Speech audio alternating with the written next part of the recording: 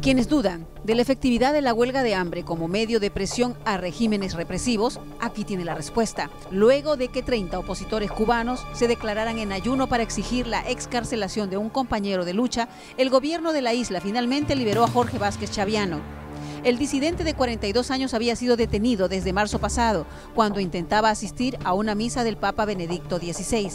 La huelga de los opositores, encabezados por Marta Beatriz Roque y Jorge Luis Pérez Antúnez, recibió amplia exposición en la prensa internacional. Y el régimen finalmente cedió ante la presión. La liberación de Chaviano coincide con nuevos rumores sobre la salud del dictador Fidel Castro, tema que se ha acaparado la red social Twitter en las últimas horas. ¿Casualidad? ¿O será que acaso el gobierno trata de lavar a la carrera su imagen ante la posibilidad de acontecimientos drásticos? Con los Castro nunca se sabe. Fernanda Valdivia, Soy TV.